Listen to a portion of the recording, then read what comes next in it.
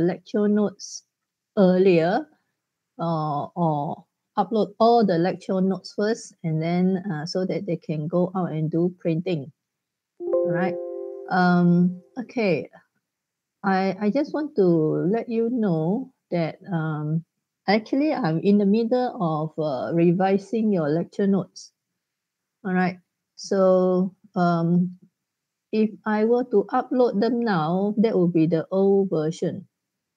Unless you do not mind the old version and then you do the changes along the way as I uh, upload the new one. Uh, or uh, you rather wait uh, for the new one to be uploaded. Let me know your choice.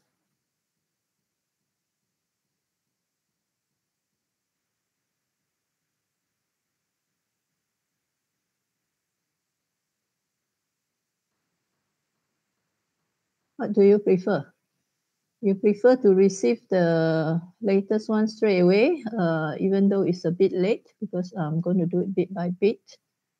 Um, because if you look at my um, exam questions, uh, um, they are they are actually changing every time. so in order to keep up uh, with the changes, so I actually revise my lecture notes uh, along the way as well. Uh, but you do not mind taking the old one and then you just modify uh, when the new one come along, uh, then I'm okay. Of course, uh, I think for those who want to do printing, that might be a bit of issue uh, because uh, you need to go out and print all the time. Okay. Um,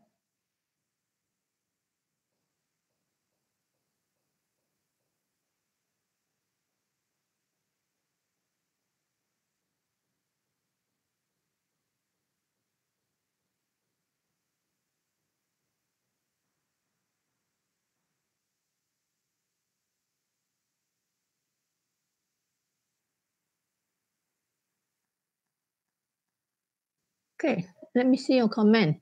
Nobody say anything.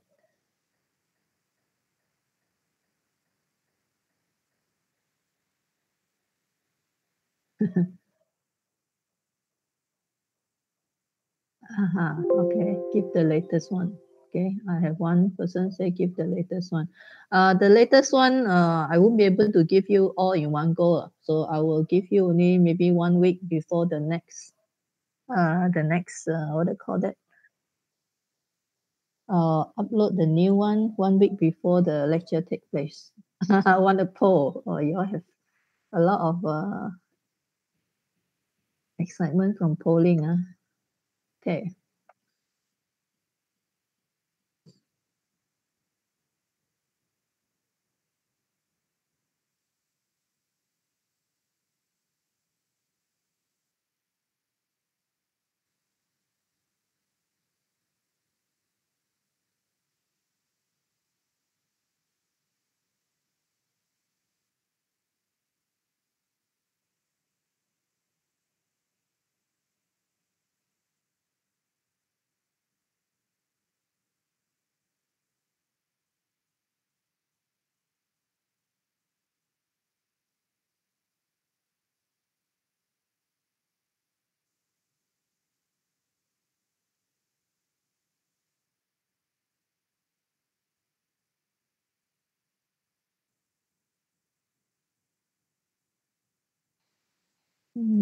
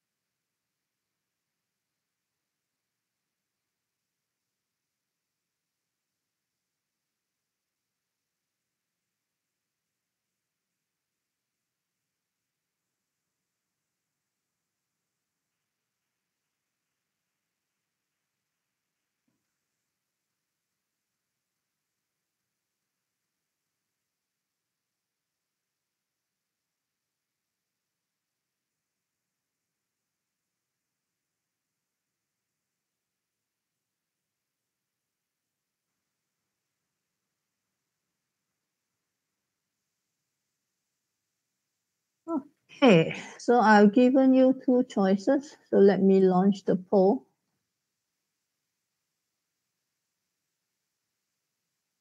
All right, so um, in the poll that I've just launched, I provide you two options. All right, uh, where I give you the old, old version of the lecture notes uh, all in one go, and then you all do the changes uh, as I teach them during lecture. Or you just compare what's the difference between your old one and my new one, and then you will make the changes accordingly. Lah. And the new one will be uh, the changes being done, um, but then the problem is uh, I can only upload them about one week before lecture. So again, as usual, we'll follow majority. Yeah.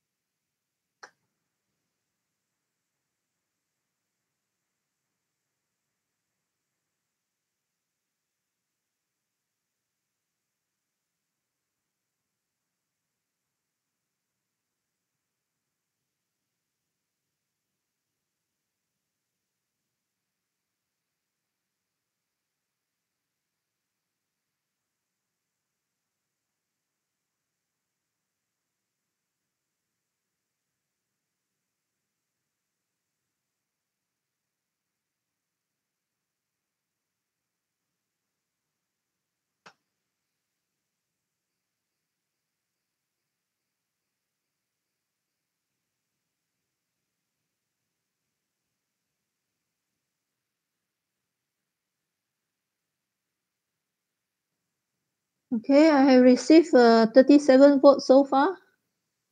There are 50 of you currently attending the class. So please uh, quickly put in your vote and then uh, I can end it earlier and then I can move on uh, to our class today.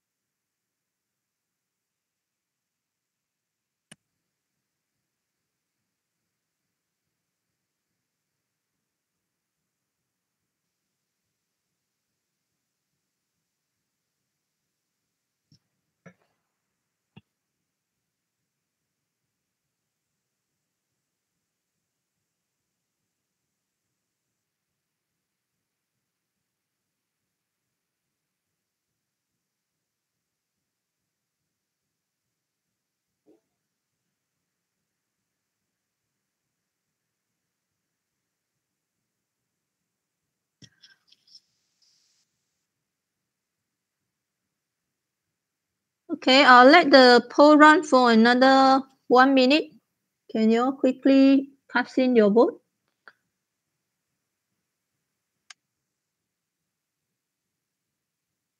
Because uh, I can see we already have the majority. And uh, just give you one more minute and then I will end the poll. And for those who did not vote, then I will presume you um, you're okay with either one. Yeah, I should give you a third choice. Oh, okay with either arrangement. okay.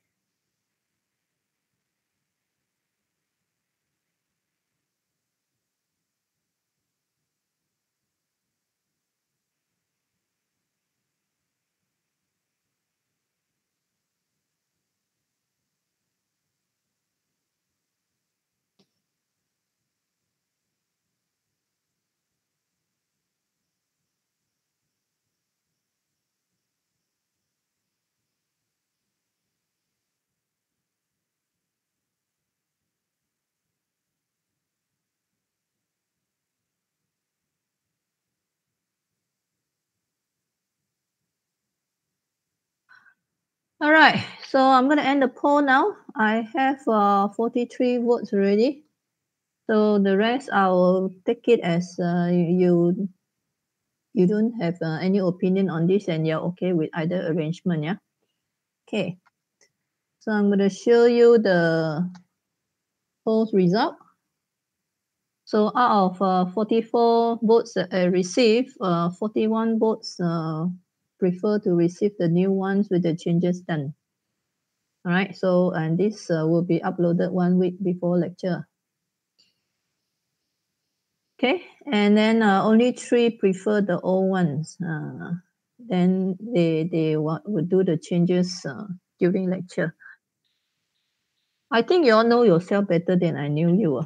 Uh, actually, I I what I did uh, last sem was the first one uh, I uploaded the old ones, and then uh, as I teach during lecture, I add in new materials, you know, add in new material, and then I change some of the same content.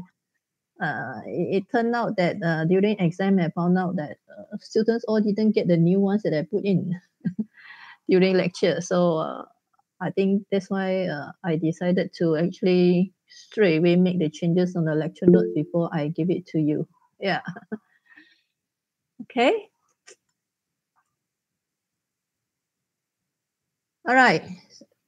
So let's uh, start with our lecture, shall we? Or anybody want to say something? No, ah? So we've decided that uh, I'm going to upload the new ones when it's available, only when it's available, yeah? So you uh, be a bit patient. Uh.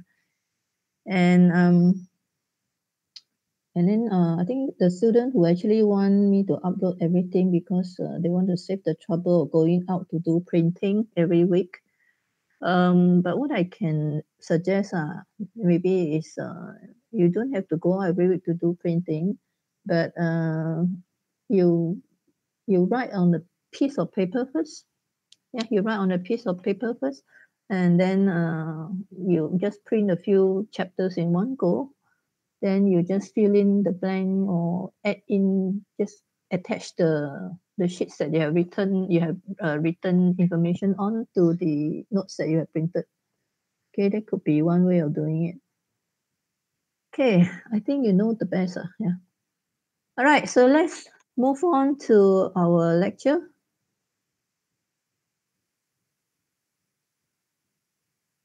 Um,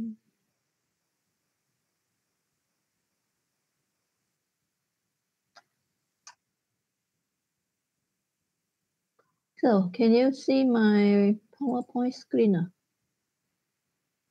Yes. Okay. So uh, just recall where we stopped last week. Uh, last week we actually stopped on this slide where I where we actually arrive at the equation of the um, double sideband full carrier. Um, let me show where is it? The double sideband full carrier um, which is this one over here. Hey, wait now.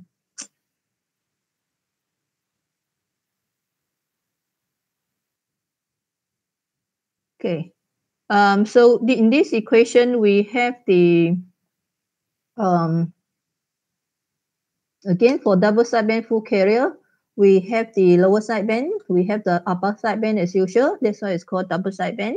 And uh, the in the signal itself, we also send the carrier along.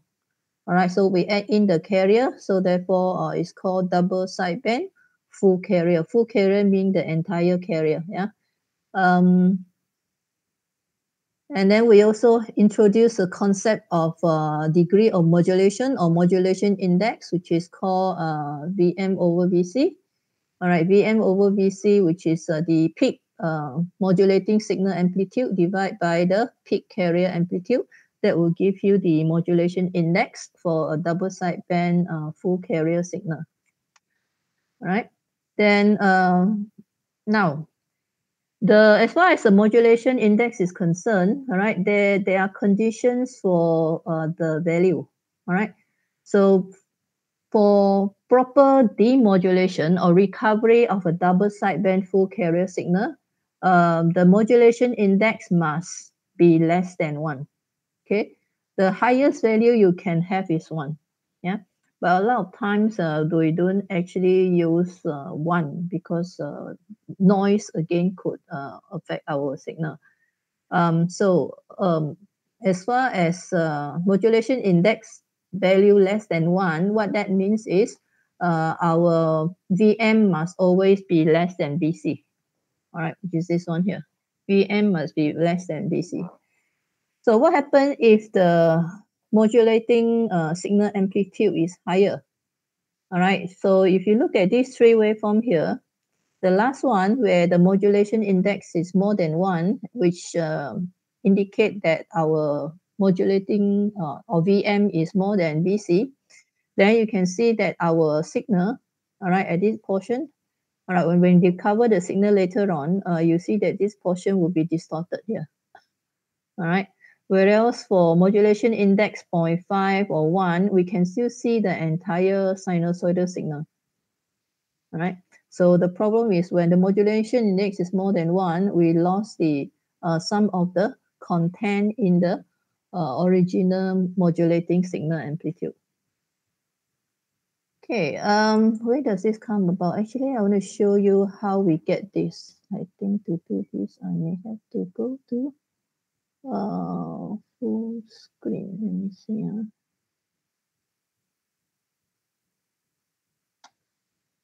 All right. Um. Okay. Let me.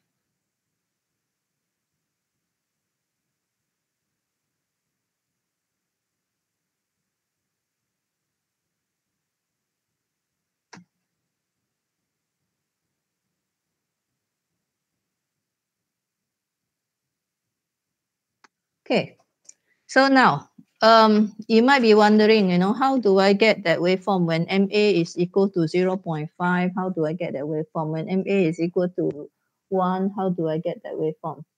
All right, so let's um,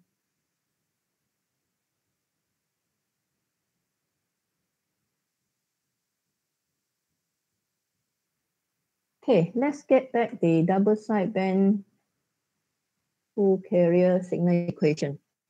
All right, the equation is VAMT is equal to um, cosine of omega CT VC plus VM cosine omega MT. Right, this is the, to actually um, sketch. So actually sketch the double sideband uh, full carrier AM signal is easier to make use of this equation. All right. So from this equation, um, let's say, let's say our waveform, uh, this is our modulating signal, right? Our modulating signal, the uh, VM, the small VMT actually is VM uh, cos omega MT, all right? So if you actually draw the waveform, all right, let's see, a waveform, a cosine waveform will be like uh, like this, isn't it? This will be the cosine waveform for um, our message. Right, now, um, if, all right, um, if our modulation index is 0 0.5, all right, that means Vm over Vc is 0 0.5, right? So what is our Vc? Our Vc is actually 2 times Vm, isn't it? Okay, let me put down this is Vm and uh, this is minus Vm. All right.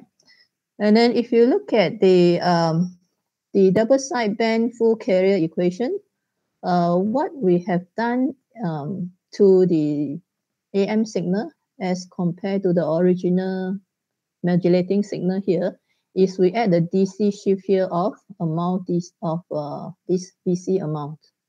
All right, there's a DC shift of VC here. Okay, so as far as the uh, it, and then this this whole thing, the sum of these two will be multiplied by the uh, carrier signal. All right. So the carrier signal basically what it means is that you have a lot of uh, oscillating or the carrier within the uh, envelope here. The envelope will still take the form of the um, modulating signal. All right, so what that means is um, our our our message, uh, our AM signal basically will have a um,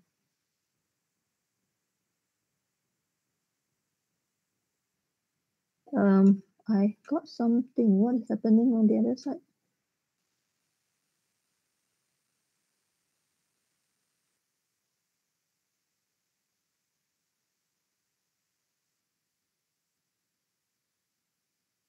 Um, at the moment, I can't I can't view the the uh, what do you call that the chat box at the moment. Uh, if there anything, then you just uh, let me know because I keep hearing a lot of uh, thing on my ear.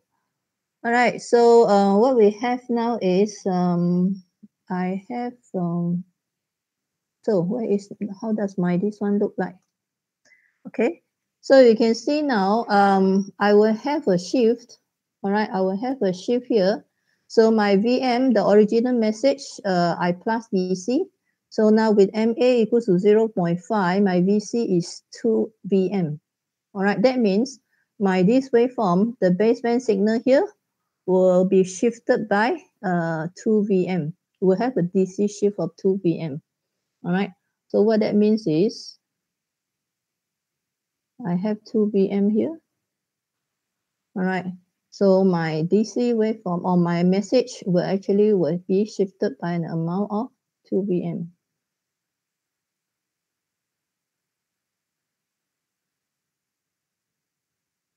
All right.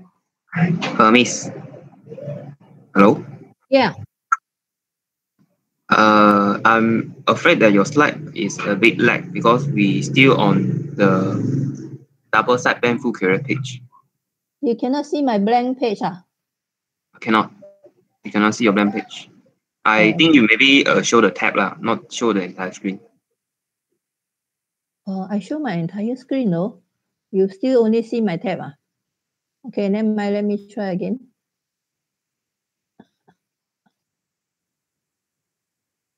Um,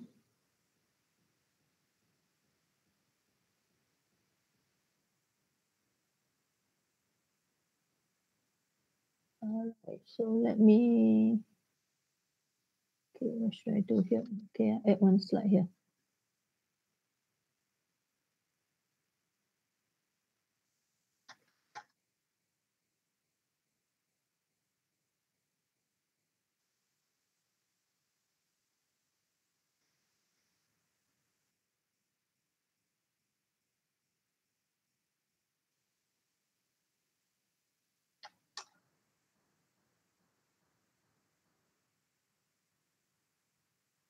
Okay. So can you see my uh this one now? This is my slide, right? So I'm going to move on to a blank slide where I can show you how I got the waveform. Ah. Can? Can, miss. Okay. So now let me let me start over again. Um, I should have a in here. Let me see. Uh,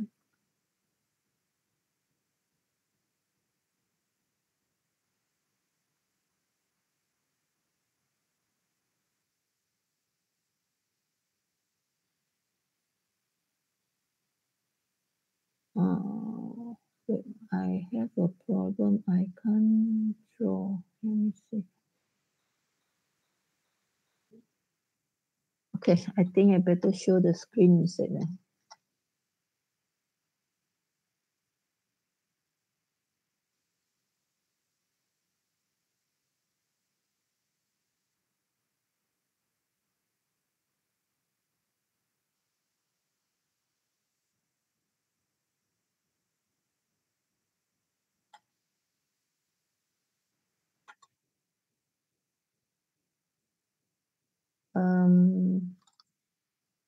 No, I can't. Give me a moment.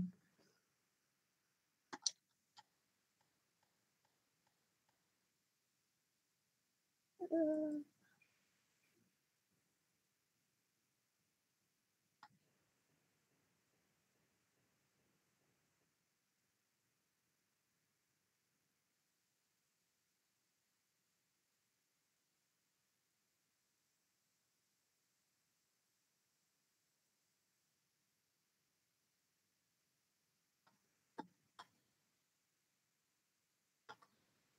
Okay. Can you see my blank screen now? Can. Can ah? Okay. Mm. So now uh let's let's get back our equation for double side band full carrier, which means uh, VAMT is equals to cos omega CT VC plus um VM cos omega MT. All right. So this is uh, where actually this VM cos omega MT. Miss, Miss, Yeah. are you writing at the chapter 3 amplitude modulation version 2, slide 21? Yes, correct. But we see nothing lah. It's a blank slide here. So why you cannot see ah? I can see a blank slide. Oh. Huh? You cannot see my my my writing on it ah? Cannot. Oh. I don't know why. Oh. Strange. Okay, let me see. Let me try again. Um, that's weird. Because just now I tried to put in a blank screen. Uh, blank screen you cannot watch. Um, let me see.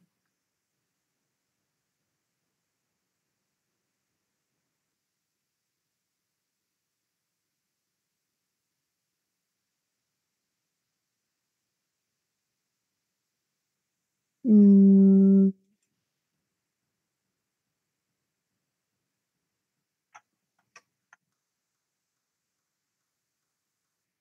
Okay, so now you can see the double sideband full carrier slide, right? Yes, can see. Okay. Um, so now let me write something on my blank slide and see whether you can see anything. If you cannot, then I have to think of other way.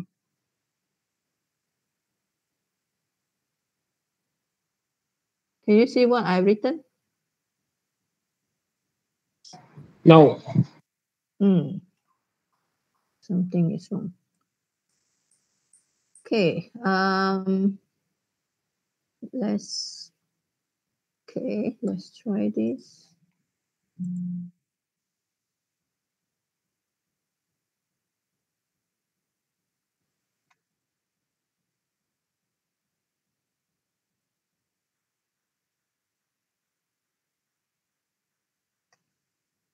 Can you see what I've written now?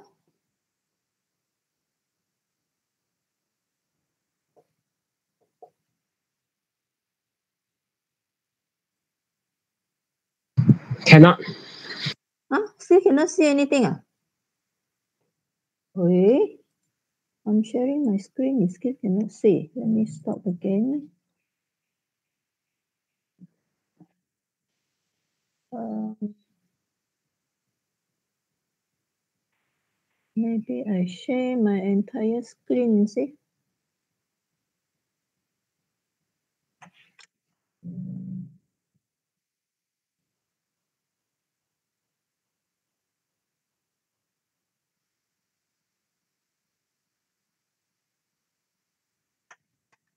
All right, so now you can see my uh the slide number 20, right? Yes. Okay. Um, so I'm trying to write on slide number 21 and see whether you can see anything or not. Can you Can see anything? liao. Can see liao. Oh, okay. Can see already. Okay, See good. already. Okay, thanks for the feedback. So for double sideband full carrier, let's bring out the equation. Uh, VAMT is equals to cos omega CT VC plus uh, VM cos omega MT. All right, where this VM cos omega MT is our message. Okay, we use a very simple message, which is just a cosine waveform. Uh, that's our VMT. All right, so if I were to draw the uh, waveform of a cosine wave, all right, the cosine wave, basically the waveform will look like this, isn't it? All right, where the amplitude is Vm, right, um, from Vm to minus Vm, and this is zero. Okay, so this is my VMT. Okay, uh, Right, so you can see that when we perform a double sideband full carrier modulation, basically we add a we say add a DC signal to our uh, modulating signal. Right, this is DC and this is my this is my VMT. Yeah. This is a message signal. All right, and this is a DC offset that I actually add to my uh, message signal before I multiply it with this uh, uh, cos omega CT all right, which is the carrier. So what actually happened uh, when we add DC shift to our cosine wave? So now it depends on how much DC is added, isn't it? Now let's say our MA is equal to 0.5, which is the first example. So that means Vm over Vc is equal to 0.5, and that means my Vc is 2 times Vm. All right. So that means uh, I actually add a DC offset of 2 VM to my message signal. All right, before I multiply with the carrier. All right, so when we draw, okay, and know what how we get that uh, waveform is basically this way. We add a DC offset.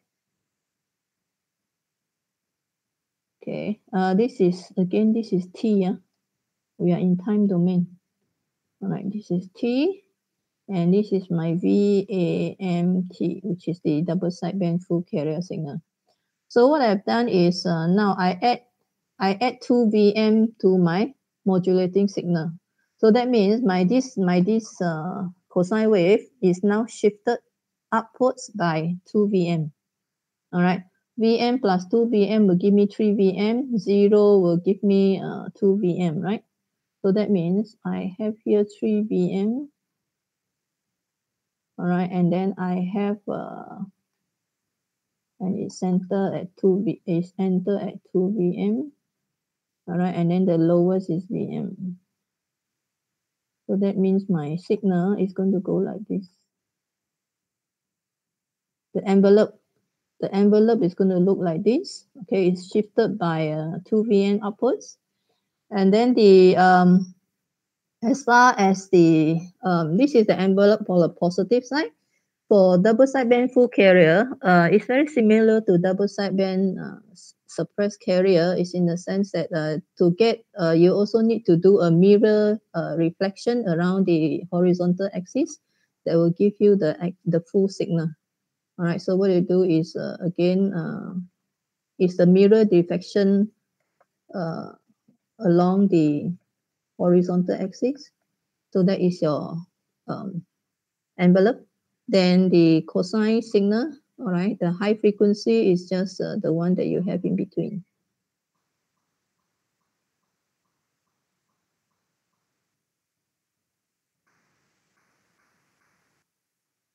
Okay, so this is uh, the the, the double sideband full carrier uh, signal waveform when we modulate at the modulation index of 0.5. Okay, and uh, when we use a modulation index of 1, all right, that means my VM is over VC is 1. and that means my VC is equals to VM. All right, so when my VC is equals to VM, so I've added again a DC offset of VM to my modulating signal over here. All right, so everything shifted by amount of uh, VM. So the waveform is going to look like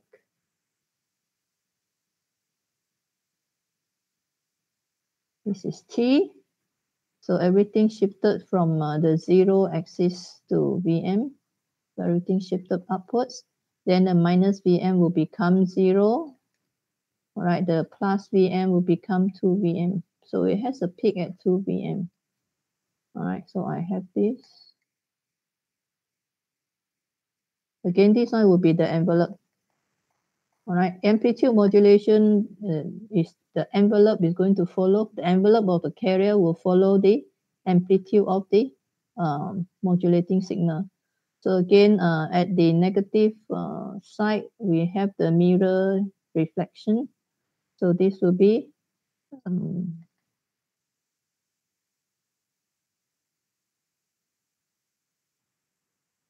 All right, then you fill in the carrier signal.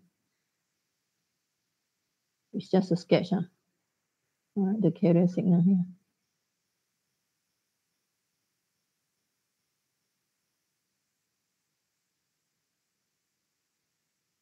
Okay, so this is when your MA is equals to 1. Uh, what happened when your M, your modulation index is 1.5? That means VM over VC will be 1.5 that means VC will be VM over 1.5, which is about 0 0.67 VM. All right, that means we're going to shift the entire, uh, again, the modulating signal by uh, DC amount of 0 0.67 VM.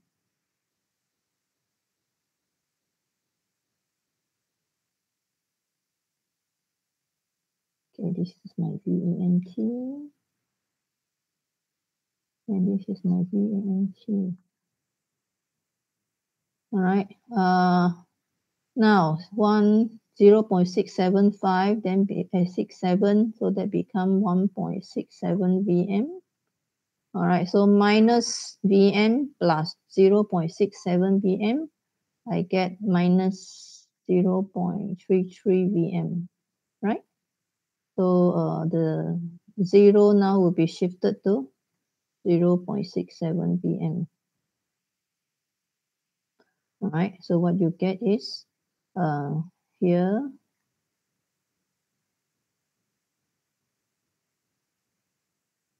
Okay, this is the positive half. And then for the negative half, 1.67, then I have uh, minus 1.67. Okay, so that will be, uh, so again, it will go like that.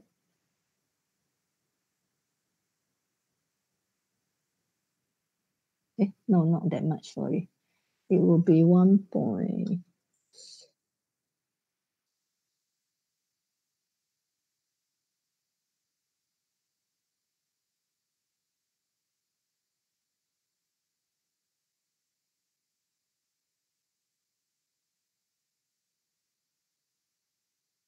0 0.33. So just a bit up. Mm.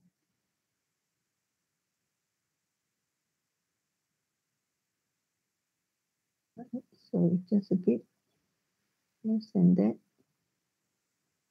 So that is our envelope for the negative part of it. Then what you have is just fill in the carrier frequency.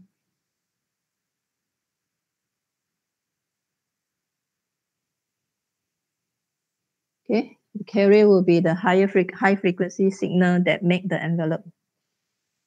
Okay, so that is our uh, how we actually get uh, the waveform. So the problem is here. All right, when we have when we have our modulation index uh, greater than one, the problem is here.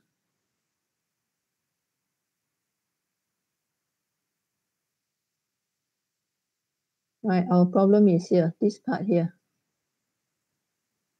Okay, if you look at the envelope now, the positive side, the envelope is like this. Okay.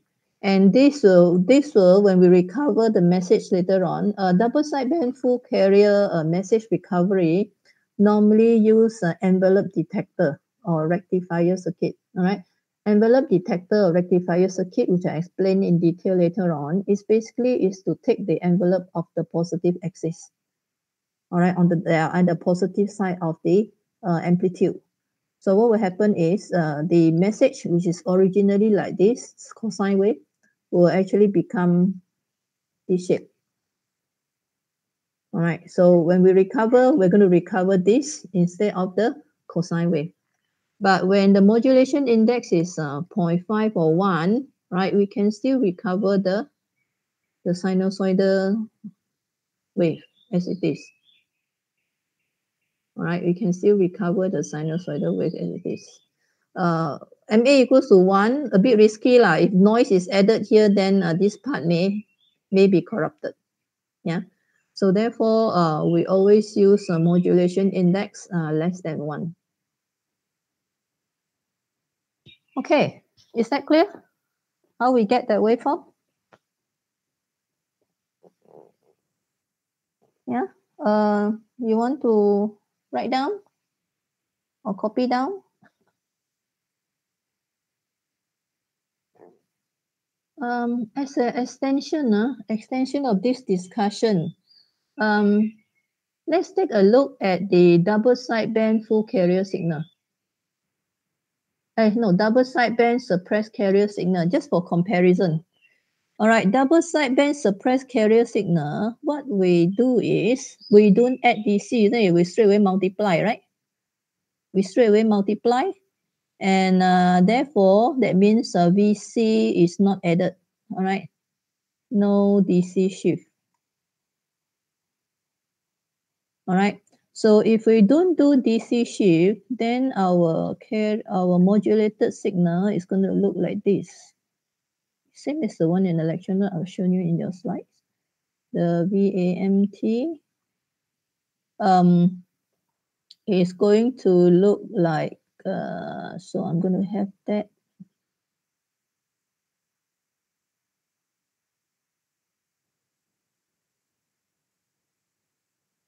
No shift. So my my double sideband suppressed carrier signal is going to look like this.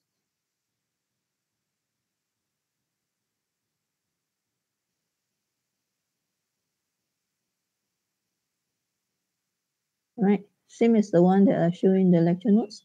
My double sideband suppressed carrier signal, the envelope is going to look like this. So therefore, you can see that the double sideband suppressed carrier signal, we, we can only use uh, um, synchronous detection. All right, we can never we can never use envelope. If we use envelope detection, right, you see that uh, we can never recover our sinusoidal signal. Yeah, if you only take the positive half of the amplitude. Um, that is just a further discussion so that you can compare compare the waveform of a double-sided suppressed carrier signal with the waveform of a double sideband full carrier signal uh, with different modulation index values. okay, and uh, okay. Double sideband suppressed carrier signal, don't no DC shift. And what does that mean actually? When there is no DC shift, that means uh, our VC is, as far as the addition is concerned, our VC is actually equal to zero, right? In this case, as far as this equation is concerned, our VC is zero. What does VC is zero mean? That means VM over zero, VM over VC or modulation index, which is VM over VC. Uh, so VM over zero will give you infinity. All right. So in other words, uh, the double sideband suppressed carrier modulation technique is actually a, a different version of double sideband full carrier uh, modulation technique with modulation index being infinity. That's all. All right. So that is for um, some explanation on the waveform, how we got that waveform. Okay, and hopefully with this, uh, you should be able to do the tutorial question. Okay, yeah. Hello, Okay. copy down or you already uh, take a screenshot?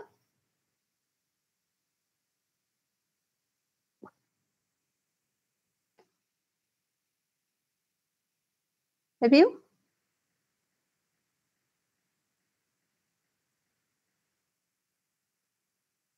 Done your screenshot? Yes, Miss. Yes. Okay, good. So let's move on to uh, again look at the let's look at the double sideband uh, full carrier frequency spectrum. Okay, let's bring back the equation again. So always refer uh, to back to your equation. Uh. So when you have your equation, uh, everything is uh, easily um, understood. Okay, now the double sideband full carrier. Um, now in that equation of the um, signal, the modulated signal, we have a carrier here. That means in the um, frequency spectrum, we will have a we will have a component at the carrier frequency.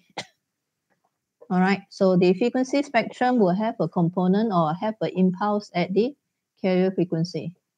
All right, and uh, the diagram that I'm showing you here, basically I, I merge the negative frequency to positive frequency. Yeah, yeah.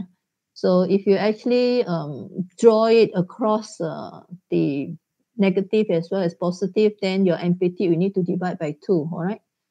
Here I merge because uh, later make it easy for me to calculate power, all right? Um, you can also split them and then when you calculate power, you add both powers. Uh, yeah.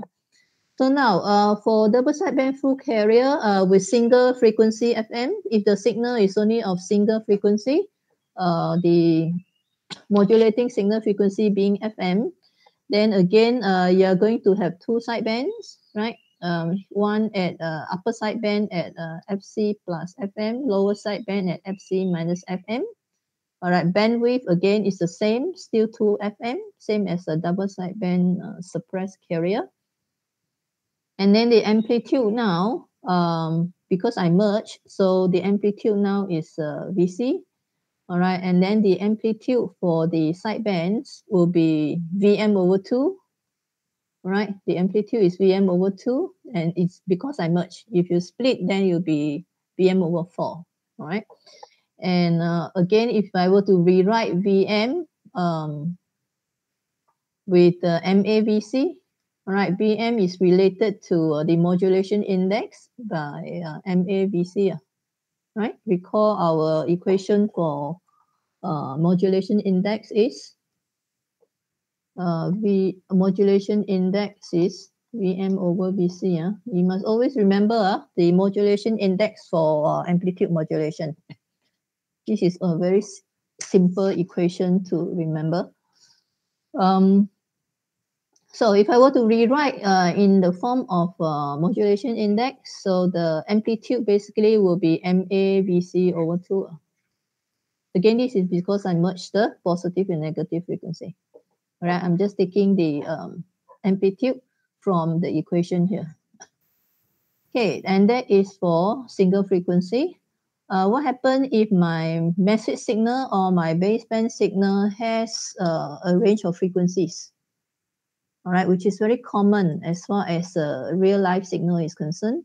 For real life signals, normally uh, we have uh, uh, sets of equations. So the uh, in this example, my baseband signal has a frequency that uh, as low as f1 and the highest is f2. All right, the highest frequency components that are available in my baseband signal is f2.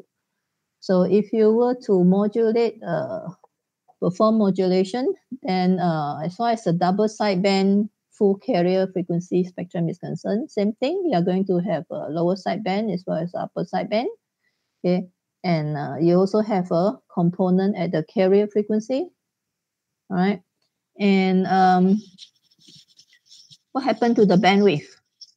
All right, because this is a double sideband, um, therefore the bandwidth is um, the highest frequency in the upper sideband minus the lowest frequency in the uh, lower sideband.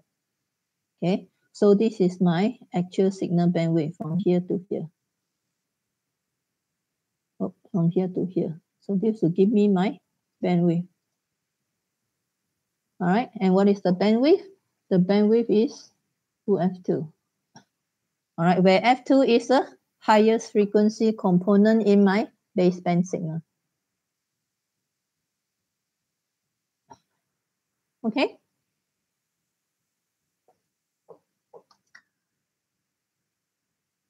Okay, this slide uh, actually show you the relationship between the time domain and the frequency domain representation of our, uh, our signal here. So uh, looking at the first one here, which is our modulating signal, is of a very low frequency. All right, our carrier, uh, again, is of high frequency. Right, when the waveform are closer to each other, that means it's a higher frequency. Yeah? The one that is further apart with the longer uh, period, then is a low frequency. Yeah? So what we have uh, in the um, double sideband full carrier signal, basically you have the carrier component. All right, you have the, now this is the lower sideband.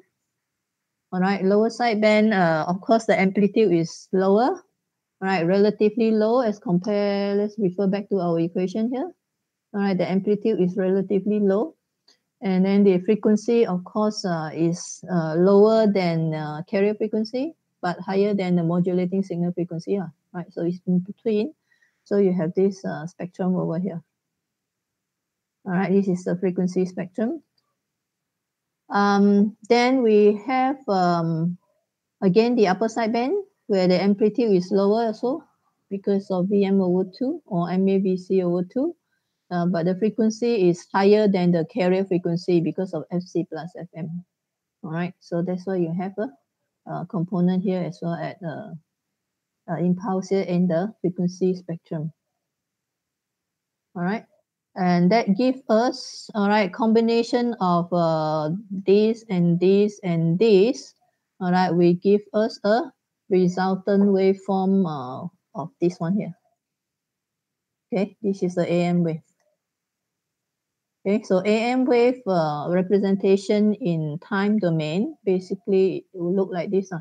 So the envelope basically will follow the uh, amplitude of the modulating signal. That is the envelope here. All right, the envelope here. Um, and then the the the carrier or the the waveform shape here, the repeat repetitive uh, waveform within the envelope is basically uh, the carrier frequency inside. Okay, or maybe it's changing as well. Uh. So again, uh, as far as sketch is concerned, uh, you just have to sketch something of a higher frequency, and then the the amplitude of uh, each oscillation actually uh, will will actually drop out the um, amplitude of the uh, modulating signal. Okay, it actually follow uh, the amplitude of the modulating signal here. So that is for um, double sideband full carrier AM modulation.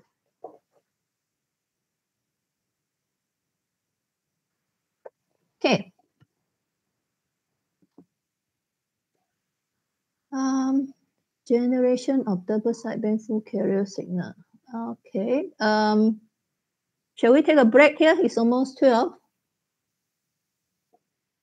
Yeah, break. Yeah, good. Um, let's take a five minutes break and then we come back at 12.05. Is that okay? Okay. All right. See you later.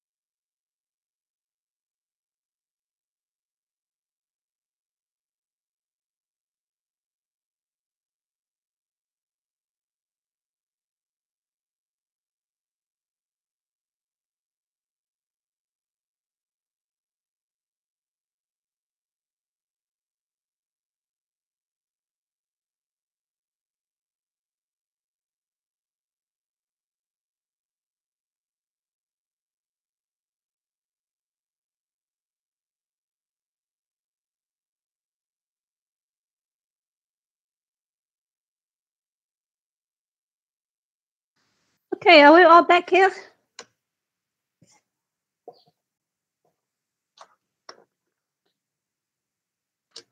Are we?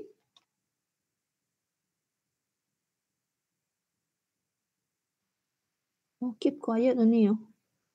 Oh, yes. Okay. Thank Yes. you for responding. Okay, now let's uh, move on to the next part of our lecture that talk on the um, generation.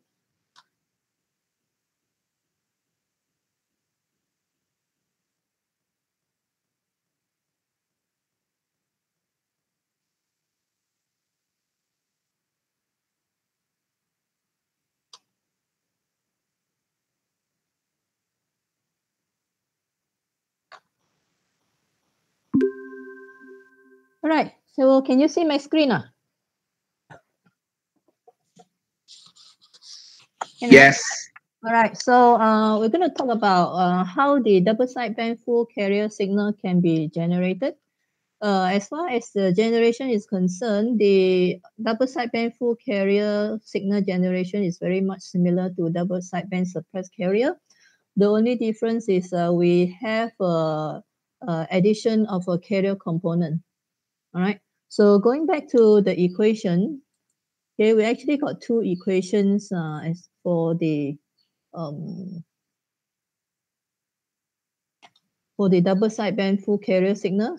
So the first equation that you can use, all right, is this one here, where we actually multiply our message signal with the cosine uh, omega c. All right, omega c is a um, is the carrier frequency. So we and then we add the full carrier here, which is a VC cos omega ct. right? So therefore, the generation is uh, you can represent it with this diagram, which is uh, VMT. All right, which one is VMT? This is your VMT. Okay, multiply with cos omega ct. So this is this is very much similar to the double sideband suppressed carrier signal generation, isn't it? We just multiply the modulating signal with the carrier signal, and after that, uh, we add our um, carrier frequency carrier component.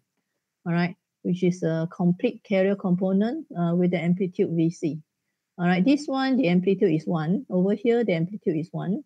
But over here, the amplitude is VC. Yeah. Or the simpler way is uh, using the second equation. All right, we have our second equation that say uh, that uh, give us this. Okay, if you actually factorize the common terms in this equation, what you're going to get is you're going to get cos omega ct. This is a common component. All right, then you're going to have um, Vm cos omega mt plus Vc. All right, so if you use the second equation, so that means what you need to have is, again, your VMT, which is a message signal. All right, you first add. You first add a DC, all right, DC that uh, amount to VC, all right, uh, DC shift, provide a DC shift of uh, amplitude VC to the message signal before you actually multiply, multiply with cos omega ct. So you can also generate your uh, double sideband uh, full carrier signal this way. Okay, this is for double sideband full carrier. So this uh, look will look slightly different uh, from the the one that we uh, implement using the first equation. Okay. Um, well, if you can, I, I don't expect you to memorize. Uh, you got too many things to memorize at the moment. But uh, as long as you uh, know the equation well, you can always play with it, and then you can uh, come up with different way of uh, generating the signal. Okay. Um, Uh, miss, yeah. we cannot see the writing. Ah, you cannot see my writing. Why ah? That's very weird. Okay, let me stop sharing. Uh, Discord. Um,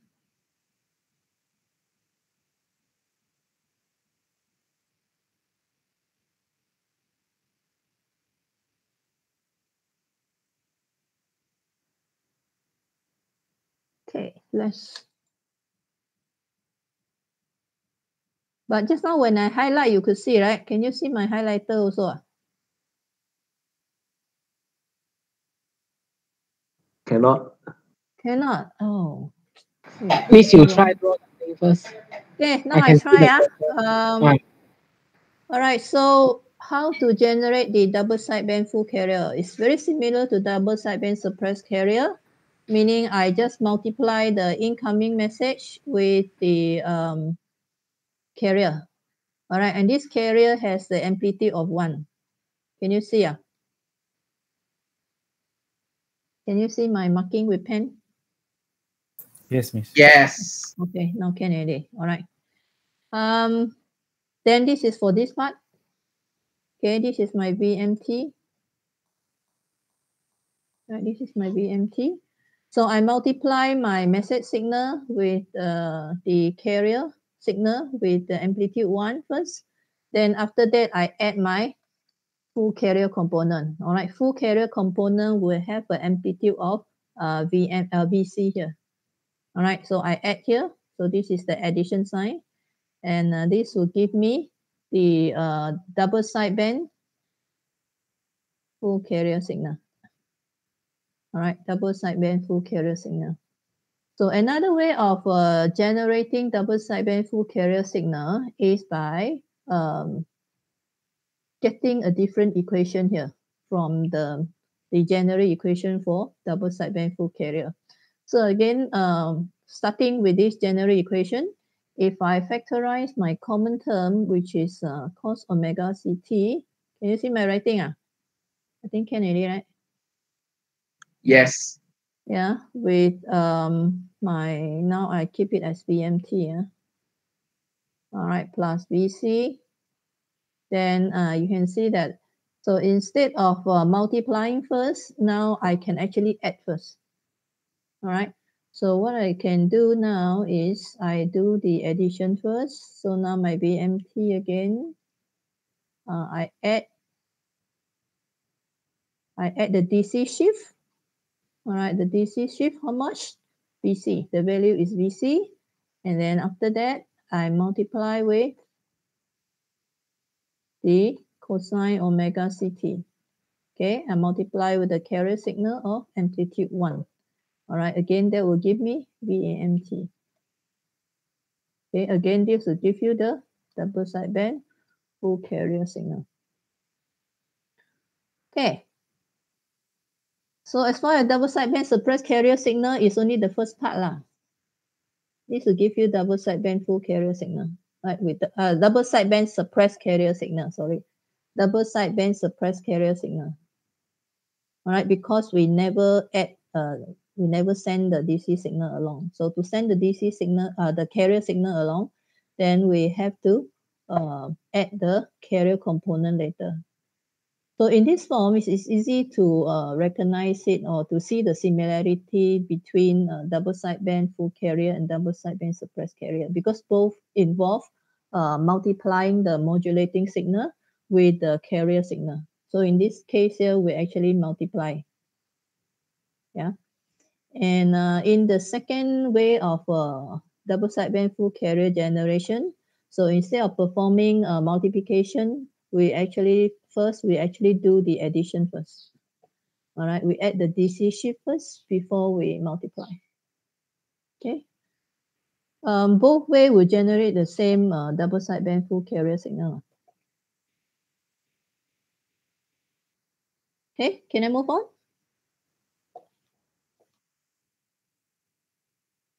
Yes, please continue. Copying, ah? Okay, good.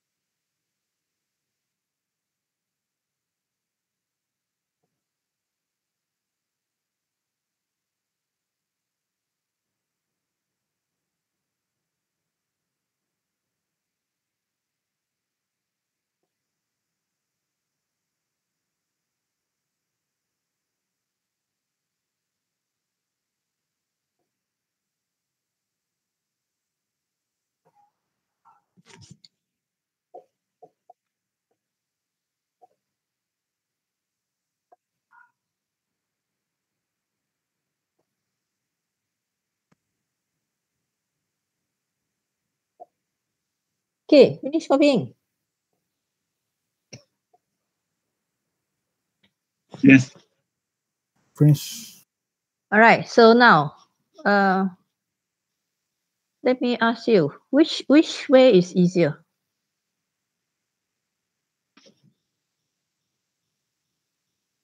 Which way of generating a double sideband full carrier uh, signal is easier? The one on the left or the one on the right?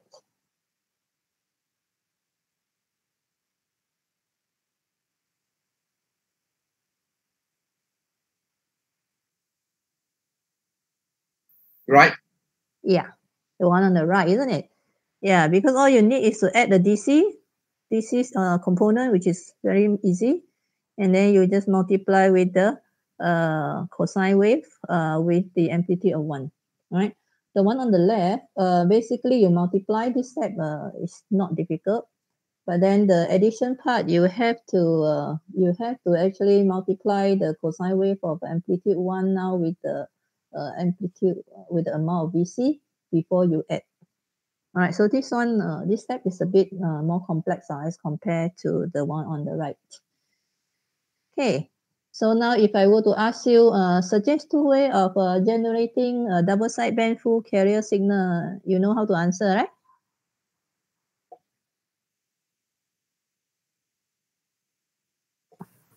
Yes, miss. Okay, good. So let's move on. Um, so I won't go into a detailed circuit on how to actually do it because the addition of a DC is very, very much easier. And then the multiplication, again, we talk about it when uh, we discuss double sideband suppressed carrier. So let's talk about how to recover the double sideband full carrier signal. All right, as far as the double sideband full carrier signal is concerned, there are two ways to recover the uh, message signal. So the the first way or first method uh, is actually using uh, synchronous detection. All right, synchronous detection is also called coherent detection. All right, coherent detection. So as the word synchronous uh, imply, all right, this involve uh, multiplying the incoming signal with the carrier signal that has uh, same frequency and same phase as the carrier signal being used at the transmitter. All right, demodulation basically take place at the receiver. Yeah. So as then that what that will give us is again uh um after we multiply the same thing we're going to get um some high frequency component as well as the baseband signal. Okay, um what we're going to get here. Let's go through some maths again. So let's say this is YT. All right, what is YT going to be? Okay, um, the double sideband full carrier signal. Okay, VAMT is uh, VAMT is uh, again uh, just for simplicity's sake, I'm going to use uh, this one here. VC plus uh, VMT. All right, so that means when I multiply with cos omega CT, so my YT will be um, cos omega CT multiply with VAMT, right? So cos omega CT multiply with cos omega CT, I'm going to get cos square omega CT. All right, so this is just VC plus VMT. All right, so what is cos square omega CT? Uh, using trigo identity again, uh, cos square omega CT will give you half of half of 1 minus cos 2 omega CT. All right, and then multiply with VC plus uh, VMT.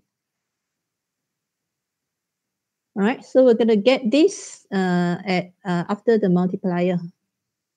Okay, so if I were to expand this a little bit, uh, we're going to get half of um, VC plus VMT Okay, and then I'm going to get half of, oh, this is minus.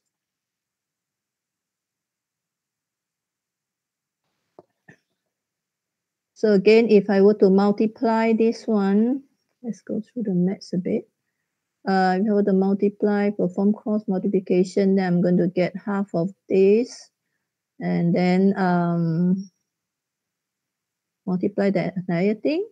And then I'm going to have, this is minus. Sorry, I forgot to erase the minus.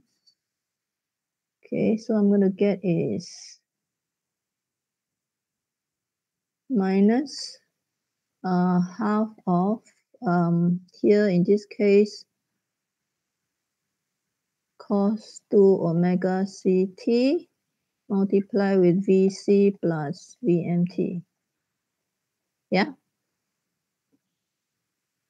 So you can see uh, from here, this actually will be my baseband signal here with the offsetted baseband signal uh, plus offset plus DC offset.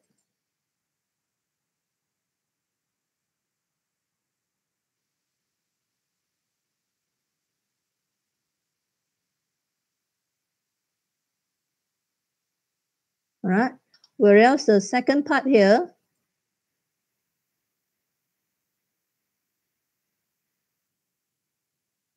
okay, this second part here, right, will give me some high frequency component.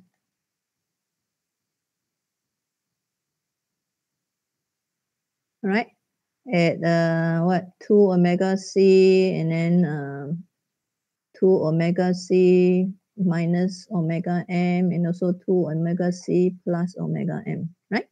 So you can see this, uh, this second set of component uh, are the high frequency component. All right, the baseband signal, the message signal is actually here already after my multiply. Okay, I actually have my baseband signal here already. So all I need to do is, uh, if I were to use synchronous detection, then uh, by passing YT through a low pass filter, all right, by passing it through a low pass filter, I can actually get uh, here, which is half of uh, VC plus my VMT, right? Half of VC plus VMT. So it's offsetted, uh, the, there's a DC offset of VC. So what do I need to do next is just to block the DC, which is VC here. I block this, this use a DC blocker to block DC. And uh, what I get here is uh, half of my message signal. All right, half of uh, MT, which is a message signal, which is my VMT. Lah. Yes, let's use back the same uh, symbol here, which is VMT. All right. So uh, as far as double sideband full carrier um, recovery is concerned, method one, okay, method one can give us the um, original message back. All right. Again, because we are using synchronous detection here, uh, the same problem that uh, that we face in the synchronous detection of double sideband uh, suppressed carrier signal will occur here as well. Okay, the same problem. What is the problem? The problem is uh, it's hard to maintain. All right, it's hard to maintain uh, or to ensure that the, the, the frequency as well as the phase of the signal, um, the carrier signal used at the receiver uh, is exactly the same as the one uh, that we use at the transmitter. Okay, or the one that actually arrive here after the signal is distorted, the carrier signal is distorted and maybe phase shifted. So we have the same problem if we use a synchronous detection. All right, so it doesn't really help us here if we uh, um, if we, use a synchronous detection to uh, recover double sideband full carrier signal. All right. Again, remember when we use double sideband full carrier uh, modulation technique, we add uh, we add the carrier signal. All right. And uh, later I'm going to talk about the power is when we add the carrier signal, a lot of the signal power actually is used to carry the carrier signal you know this actually is is uh, kind of uh, um, something that is not really, as far as power efficiency is concerned, is, is very low. Okay, so as far as uh, double sideband full carrier signal is concerned, the more the more common way or the more, more practical way of uh, of uh, recovering the message signal is by using the rectifier uh, as well as uh, envelope detector. Okay, do you want to uh, write this down on your lecture notes or on the piece of paper before I move on?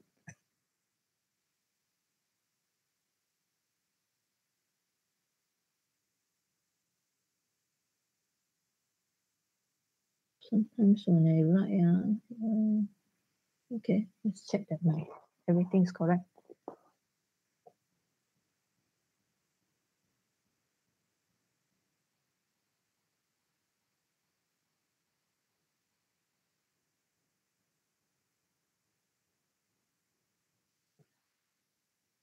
Shall I move on? Yes. So, uh, what uh, what is a rectifier method? Okay, rectifier, rectifier. The word comes from rectification. Uh, the word rectification, um, as well as uh, in electronics, it means uh, we only take the positive parts of a signal. All right. So therefore, if you look at this diagram here, um, rectifier detection is easier to actually understand uh, from diagram. Okay. Uh, let's go through the diagram first. So we have our AM signal coming in. So this is the signal in its original form. Okay, so here it use, uh, that's a problem. Uh, I take this from the books and then the books also not very consistent in the naming of the uh, symbol. So let me change here a bit. So this is uh, instead of uh, Okay, instead of a small letter A, it's actually a big letter A. Lah. Okay, where this A actually is the same as the VC that I was talking about. So we have a double sideband full carrier signal coming in here. All right. Um, rectifier, what is a rectifier? Uh, what is the best component to be used as a rectifier? Diode, isn't it? You actually learn in your year one basic electronics. So we use a diode to allow only the positive uh, part of the signal to pass. All right, so only uh, uh, allow the positive uh, amplitude part of the signal to pass. So therefore, after the diode, all right, uh, the the double sideband full carrier waveform will be chopped lah, so that the only the negative side is um, appearing at the output uh, of the uh, the other side of the diode while the negative part has been chopped off. Okay, and uh, and you can see now the positive part of the uh, signal will still have the envelope of our original message, right, which is this one here. All right, so and then we have the high frequency carrier component here. All right, so again, how to remove high frequency component from our um, the signal that we have? The easiest way is just use a low pass filter. All right, low pass filter will allow the low frequency uh, component of a signal to pass through while blocking the high frequency carrier. All right, so therefore what you're going to have after the low pass filter is just the um, this one here, the envelope. Only the envelope of the um, signal remain after the low pass filter. And this one um, remember, remember the double sideband full carrier signal has DC offset. Okay, so we have a DC offset here. So how to remove DC offset from our the signal here? So the easiest way to remove the DC offset is by using a capacitor. Right? Capacitor will block DC, isn't it? And allow AC to pass. So by you by the use of a capacitor, then we can block or remove the DC component that we added at the uh, modulation from the um, message that we want to recover here. All right. So after the capacitor, then you recover your message signal here. This is your message signal. All right. And then of course the amplitude is uh, reduced by a factor of pi. Uh. Yeah, but the shape of the waveform still remain. Yeah. So how, how do we actually recover the original amplitude of our message since it's already reduced by a factor of pi?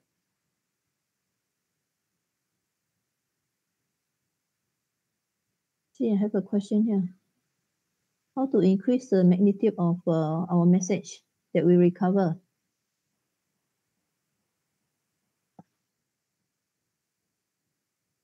Hello?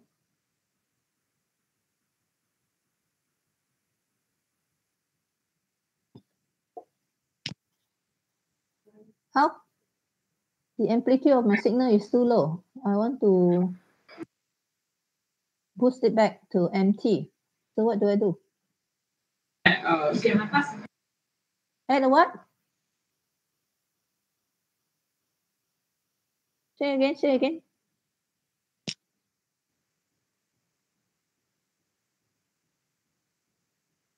How to how to increase the amplitude?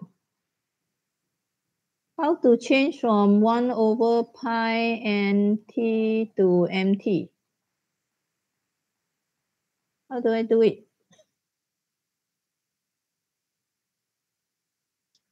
Multiply by pi. Multiply by pi. How do I multiply by pi?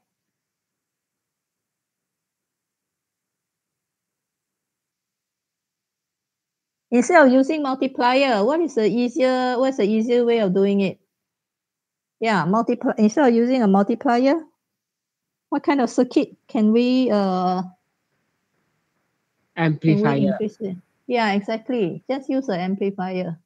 All right, use an amplifier with a gain pi, and that will give cover the uh, original amplitude of your uh, message.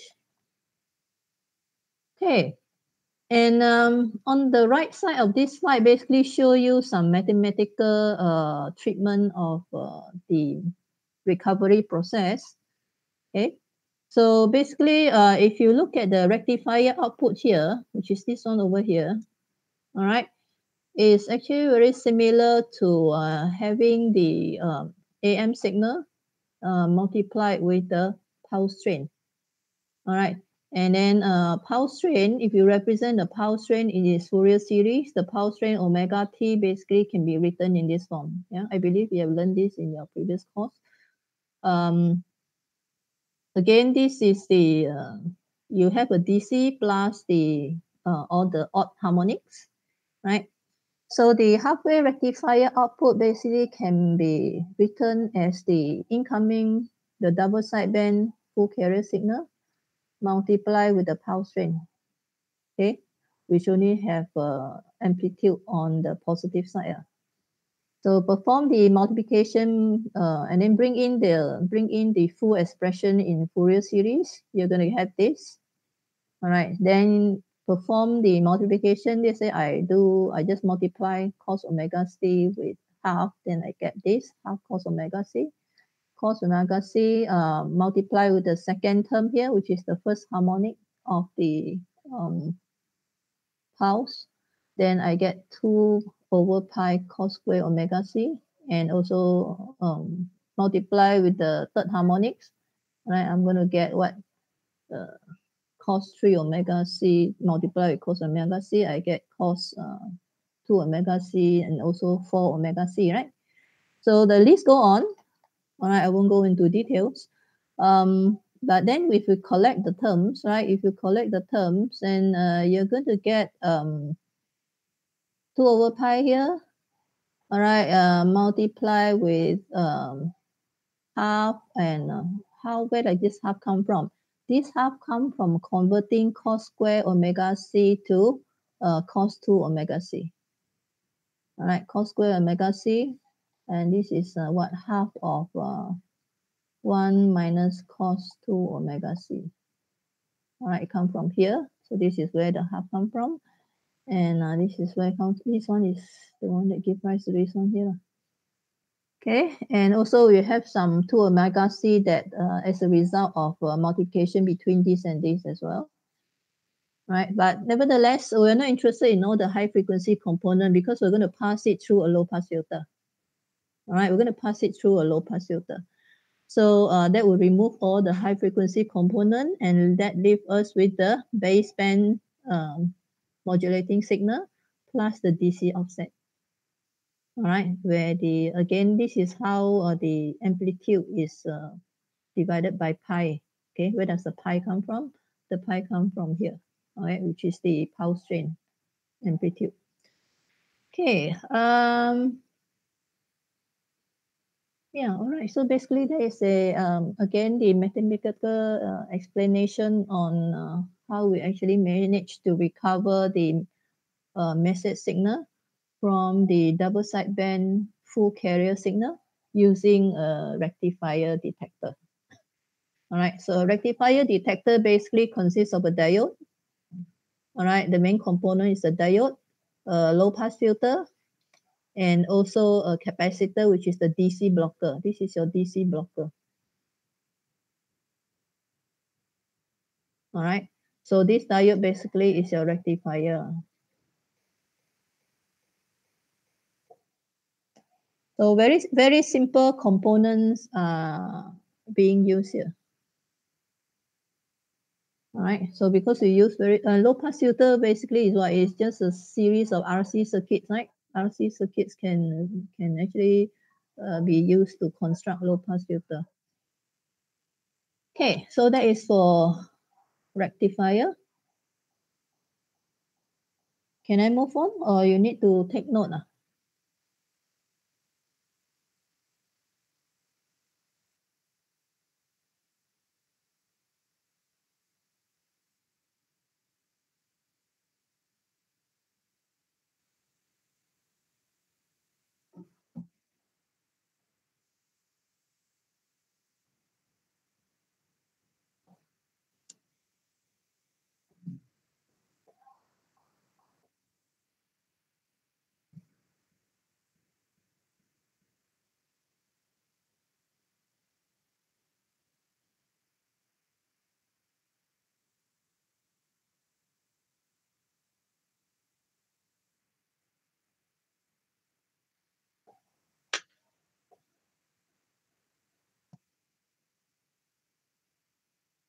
I move on, ah? Okay or not? Miss. Okay. So uh, moving on to the next part uh, is um, envelope detector, okay, which is uh, method number three. Envelope detector again is is very similar to rectifier circuit, all right, in the sense that um, okay, we still make use of a diode here, yeah, which again uh, allow only the positive uh, portion of the amplitude of the incoming AM signal to pass through. All right. So again, if you look at the waveform, uh, as far as uh, this at this point is concerned, right, only the positive half will be allowed to pass through. All right, only the positive half will be allowed to pass through. And then uh, what we have here after, after the diode is a capacitor here. All right. So we actually make use of a RC circuit. Okay, this RC circuit's uh, purpose is to track.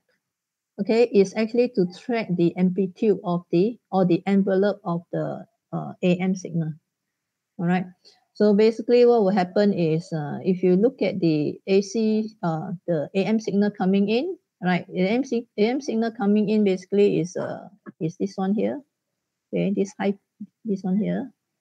Okay, where the amplitude actually will, will follow the amplitude of our message signal, right? So what the RC circuit will do is, okay, during the low or uh, high to low transition of the um, AM signal, the RC will actually, well, AC is charged up when it go high, right? So when, when this carrier signal go low, all right, the AC will slowly decay. I mean, the capacitor will actually decay, right? The capacitor will decay and then depend on the RC value that you choose, all right, then um, it you have to choose a value in such a way that it decays slower or it decays slow uh, as compared to the um, the speed where the carrier signal um, produce. Then if the decay is slow enough, then uh, by the next time the, the input signal or the carrier signal go up again, all right, it will actually be charged up. So which is this part here. All right. Then when your carrier signal drop for drop again in the next uh, cycle, your your capacitor again will be discharged. All right, will be discharged. And then by the time the carrier signal go up again, it will be charged up. All right. So you can see that the uh, at this point here, at this point here, all right, what you have is a um, a ripple signal. I would say ripple. All right. So what you have here basically is a ripple that contain the um, that is still have show you the envelope of the original signal. All right, but then uh, of course with some ripple here. Okay, so the amount of ripple actually depend on the RC value. Okay, so your RC, again, for this kind of circuit, your RC value must be chosen carefully. All right, so that, uh, here, it must fulfill this condition here. All right, so that the uh, R, the RC value is very much larger than uh, 1 omega, uh, 1 over 1 over omega C, where omega C is a carrier frequency. All right. So that means your RC constant must be bigger than the entire period of the uh, carrier carrier signal, so that it discharges slowly. All right, it won't discharge following the following the drop of the carrier amplitude. Um, here, but then at the same time, your RC must be smaller than 1 over 2 pi b. What is 2 pi b? 2 pi b basically is the bandwidth of the bandwidth of the um, baseband signal.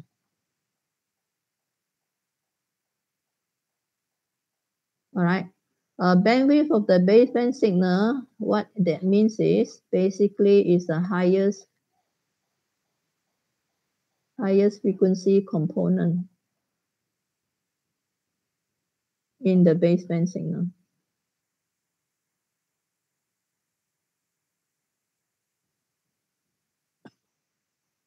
All right so it has to be it has to be smaller. All right so what why is that necessary? If it's not if it's not smaller what that that means is your rc your rc decay will not be able to actually follow the envelope closely. All right so when the envelope actually change uh, at a higher frequency at a higher um, frequency then your RC will not be able to track. So this is an example when your RC is too large. Okay, when your RC is too large, you won't be able to tra track the changes in the um, amplitude of the baseband signal. All right. So what what you're going to get here, all right, at this point, basically is at this point here, you're going to get uh, your signal like that. Okay, it contains the ripple it still contain the ripple. So what you need to do next basically is to pass this signal through again a low pass filter. All right. So a low pass filter will remove the ripple, will remove this ripple.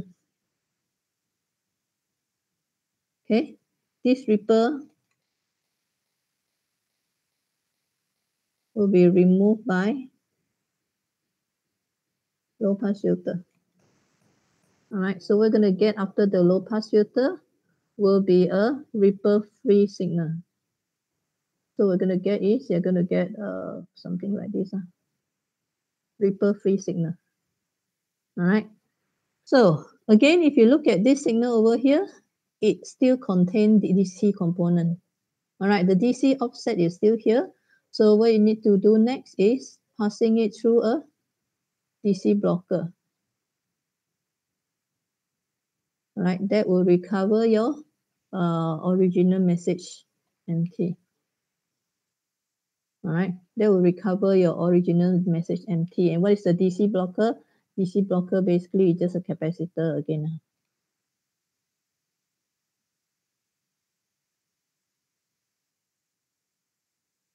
Okay, then what you're going to get is at this point will be your original message signal. Okay.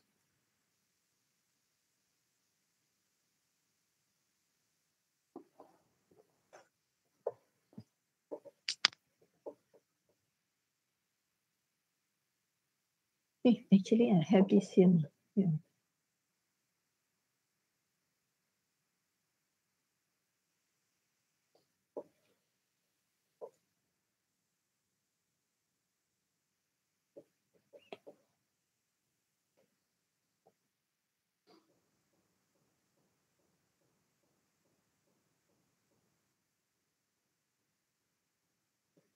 Okay. ah?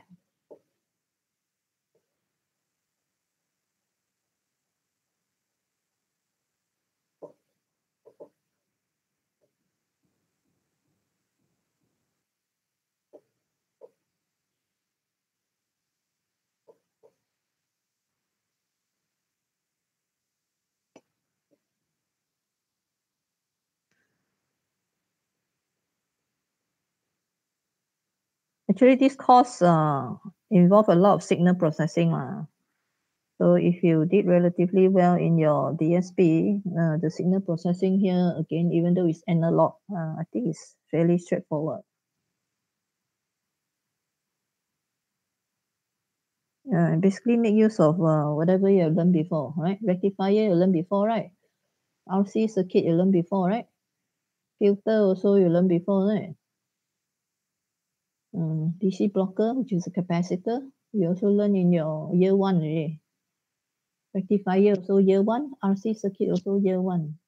So nothing new here. Actually, it's just uh, applying applying the knowledge that you have learned previously into this course. But if you have written uh, what you have learned previously to your lecturer, then uh, no choice. Uh, you have to pick up again. lor. Okay, can I continue?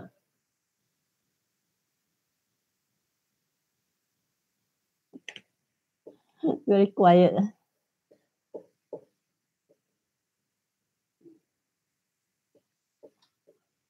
Okay, what do I have next?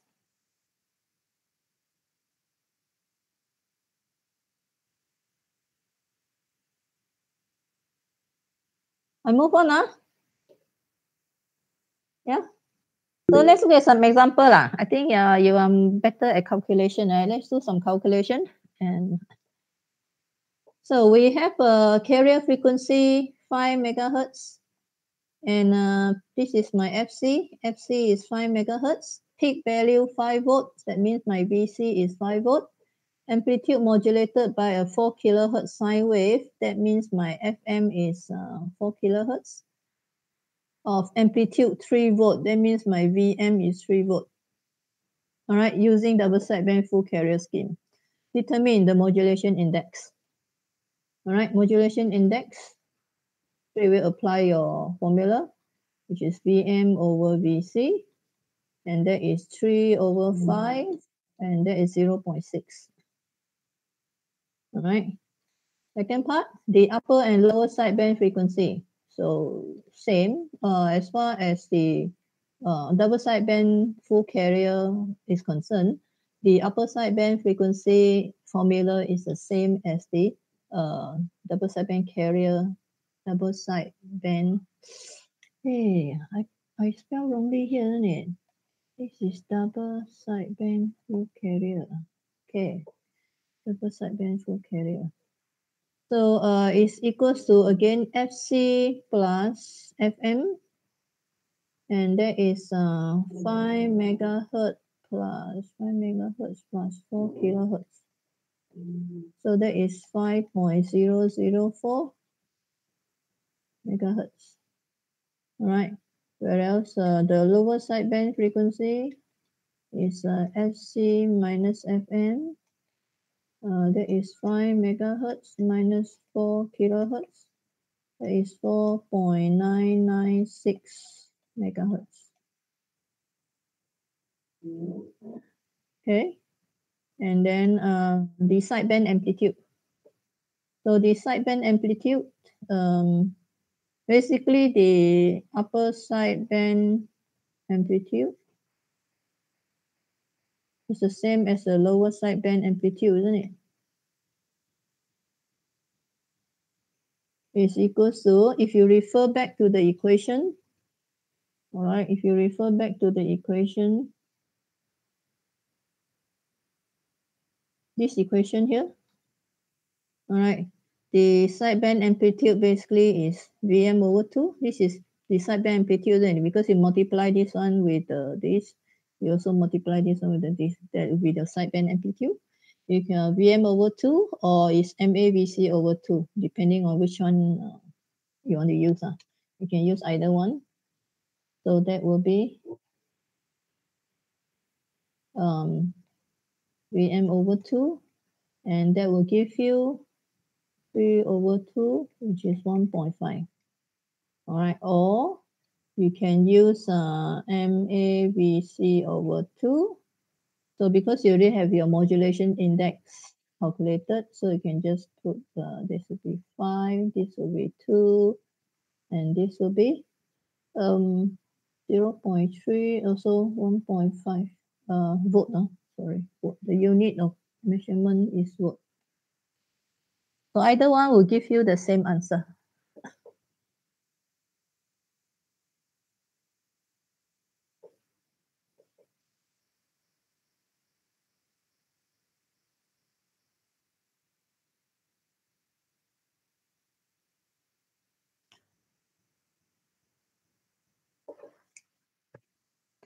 Okay, so you if you if you have the notes already printed, then you can write on them. I know that is a lot convenient this way. But if you don't have the note uh, on the hard copy yet, then you write on a piece of paper. Um, well, some of you, I think, better still, you just take screenshot. but make sure you know where to find them later. Um, and then you copy onto your notes after you printed it out. Or don't copy, better still. You try to work it out yourself, just to check your understanding right? If you understood already, then you can straight work it out. So it's part of your uh, additional tutorial question. So again, this course uh, require a lot of practice. Uh. If you practice, uh, that means uh, that will improve your understanding. Then that will be easier for you to uh, well answer the test or even the exam questions. Okay, so uh, I only have about two minutes left, so I don't want to, I think we better stop here. Do you have any questions before we stop the class?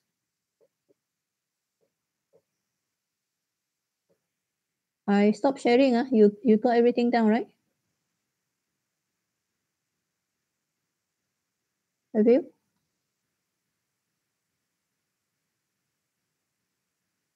So quiet, huh?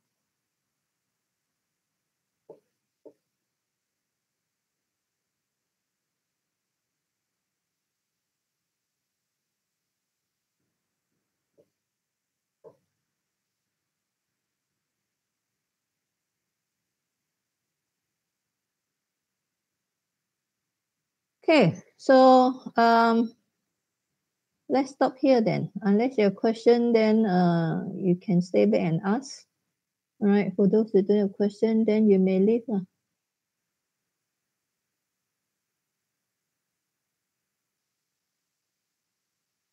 Okay, thank you, Miss.